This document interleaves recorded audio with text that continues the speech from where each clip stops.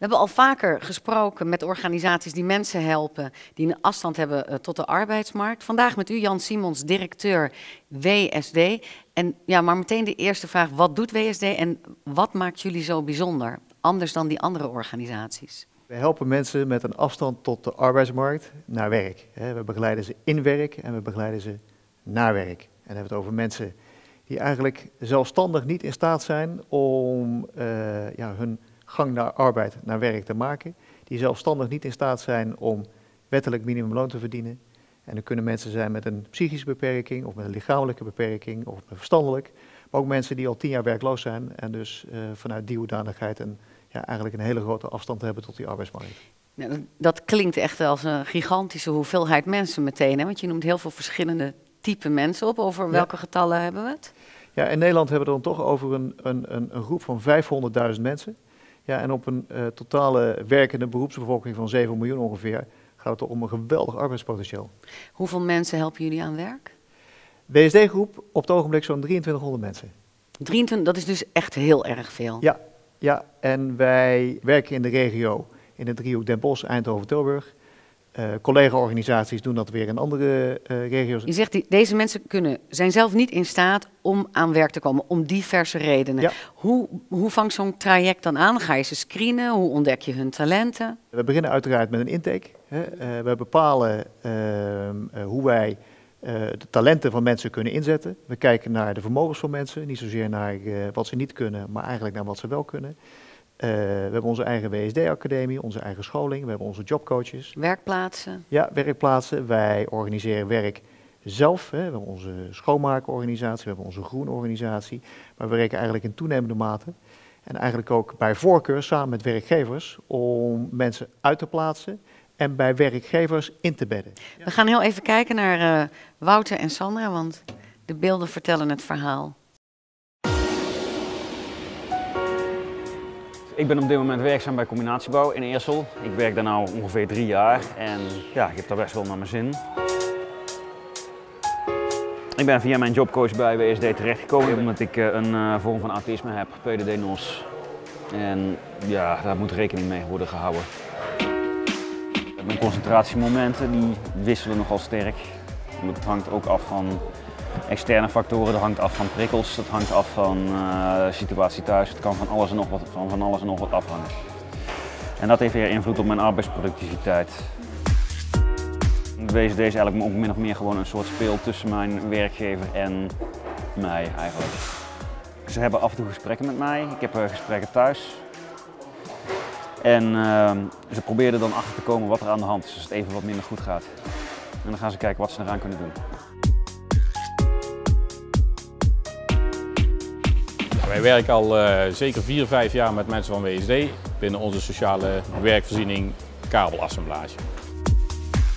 Het zijn goedkopere werknemers, maar ze hebben natuurlijk extra veel begeleiding nodig. Ze hebben uh, wekelijks komen er mensen hier over de vloer die, die mensen ook echt vragen om hun problemen, vragen om wat er, hoe, de week gegaan is, wat er mogelijkheden zijn, wat ze willen, wat ze kunnen. En al die dingen bij elkaar maken dat het uiteindelijke tarief wat je naar buiten gaat, gaat berekenen wel wat scherper is en wat gunstiger is. Dus we hebben er wel economisch voordeel bij, maar dat economisch voordeel moet je niet overschatten.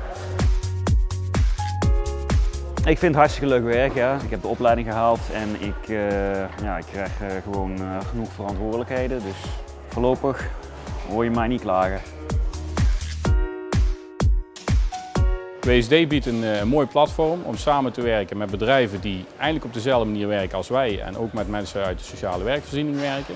Daarmee krijg je samenwerkingsverbanden zoals we bijvoorbeeld hebben met Ecotap.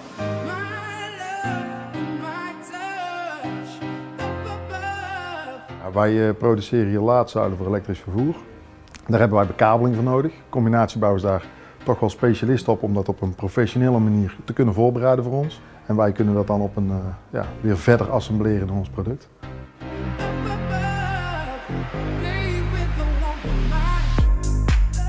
Ik werk uh, via het WSD uh, nu inmiddels zo'n half jaar, ook bij Ecotap. Dat is ongeveer tegelijkertijd begonnen. De sfeer die hier hangt die is enorm gezellig. Ik moet zeggen dat ik niet vaak een bedrijf zie of tegenkom wat ja, zoveel rust geeft eigenlijk. de rust en de ruimte heb ik nodig uh, in verband met uh, geestelijk. Ik begrijp niet altijd alles even meteen. Uh, lichamelijk ook. Ik zit zelf met wekendelenreuma, fibromyalgie genaamd. Dus dat betekent eigenlijk de pijn aan de spieren, aan de gewrichten. En ja, WSD maakt dat mogelijk om, om daardoor in, ja, op deze werkplek te kunnen werken. Er zijn mensen die natuurlijk heel ver van het arbeidsproces afstaan, die geen kansen krijgen en waar wij van vinden dat die gewoon de kans verdienen. En wat blijkt, dat die mensen gewoon echt super zijn. We halen eruit wat, er, wat erin zit, maar we laten wel de persoon de persoon. En ja, daar zijn we heel erg bij gebaat, want het zijn mensen die, waar we gewoon op aan kunnen. Ik zit helemaal niet graag stil. Ik, ik ben graag bezig en ja, daarom ben ik ook heel blij dat WSD er is om mensen zoals ik en vele anderen te helpen om toch een ja, een, leuke werksfeer te kunnen krijgen en een uh, leuke baan waar je toch uh, ja, alles uh, kunt doen. Wat in dit filmpje naar voren komt, is dat de, ja, de werkgever het niet moet doen om er ja, financieel gewin uit te halen.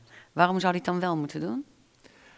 Primair um, denk ik dat we het ons als maatschappij ook niet meer kunnen veroorloven om deze mensen aan de kant te laten staan of op te nemen in hele dure sociale werkplaatsen. Nou, ik ga het eens andersom zeggen.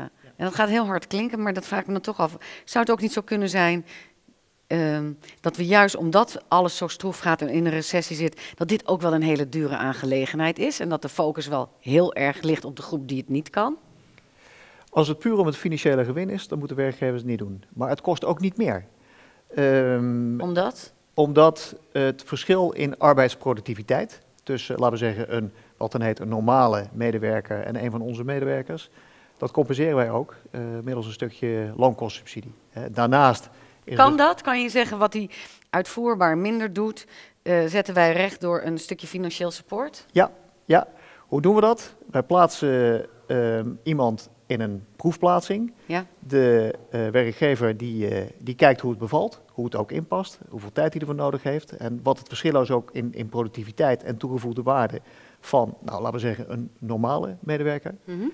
En nou ja, daar praten we over met elkaar en dan uh, treffen we ook een, een, financiële regeling. Je zei dus, dan vanuit onze beschaving kunnen we het ons niet permitteren om mensen op die manier aan de kant te laten zitten. Hoe ervaar je Den Haag in deze situatie?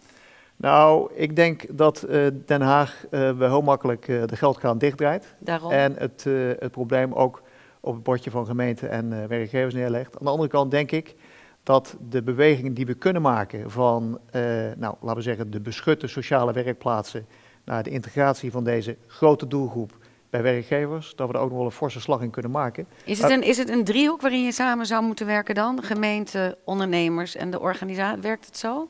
Precies, gemeente, WSD als ja. bemiddelingsorganisatie en ondernemers zouden eigenlijk in die driehoek samen moeten werken om dit voor elkaar te krijgen. En daar liggen absoluut kansen. Ja, wat, wat vind je het belangrijkste dat er nu in beweging gezet zou moeten worden?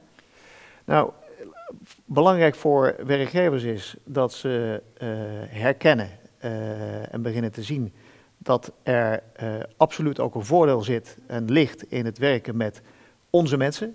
dan heb ik dat nog steeds. Ik blijf even kritisch, want dat heb ik nog steeds niet duidelijk. Ik zie dat er gecompenseerd is. Maar wat is mijn grote voordeel? Want ik wil wel als werkgever, maar waarom zou ik het doen? Want het kost me sowieso meer tijd. Super gemotiveerde mensen.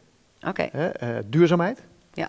Uh, een stukje ook een bijdrage in uh, maatschappelijk verantwoord ondernemen. Ja, het is een stukje MVO wat je eigenlijk aangeleverd krijgt. Ja, maar um, ja, de werkgevers krijgen ook arbeidskrachten. Uh, uh, waar ze na drie maanden of na een half jaar ook absoluut niet meer vanaf willen. Een enorme loyaliteit. Een geweldige loyaliteit en betrouwbaarheid. Maar ik mag u bedanken voor dit gesprek en heel veel succes toewensen. Oké, okay, dankjewel.